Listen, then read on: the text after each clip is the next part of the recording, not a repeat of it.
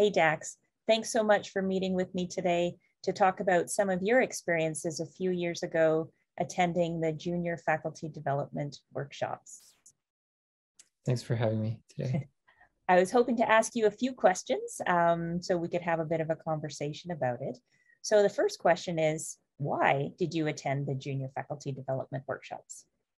Good question. I think there's three main reasons I attended. One was to kind of learn about the process of applying for tenure, which is like a prominent feature in your early career. Uh, second was to network with other people that were at the workshops. And last but not least was to get a free lunch at those workshops. Which sadly does not happen as much with Zoom workshops, but True, yeah. you can have good home cooked food at home. This is true. so how did the workshops support you in your career as a faculty member? I think they were very helpful in terms of knowing what the expectations were for the Faculty Evaluation Committee or the FEC in terms of what's expected of us, what kind of things you had to keep track of, and what how they evaluate us. So learning that early on was very helpful for me. Great.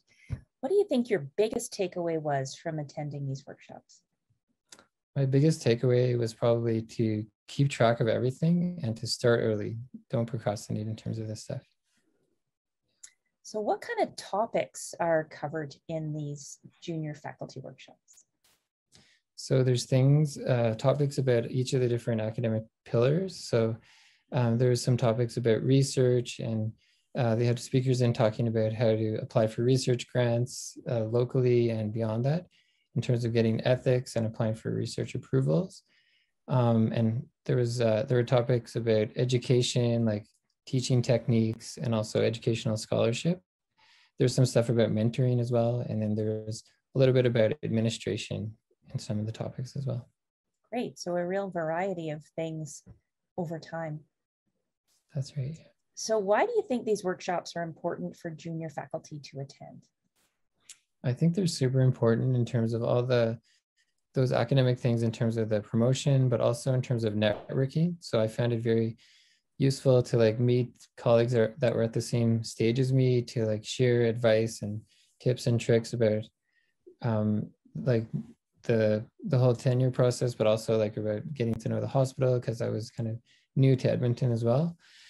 And also it was helpful to have to meet some of the more senior faculty who are doing the workshops because they're a smaller setting, so you got to ask them direct questions as well. Great. So what would you say to someone who says they don't have time? Or they'll figure it out on their own?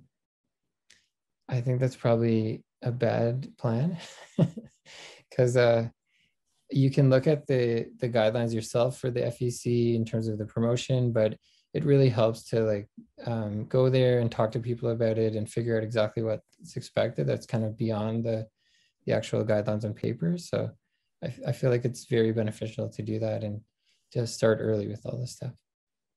That's great. Well, thanks, Dax. You, um, well, it worked for you. You were successful in your promotion um, a few years ago, and now you're successfully helping colleagues with it um, as they move through the process as well. So thank you so much for taking the time to meet with me today and talk about your experiences.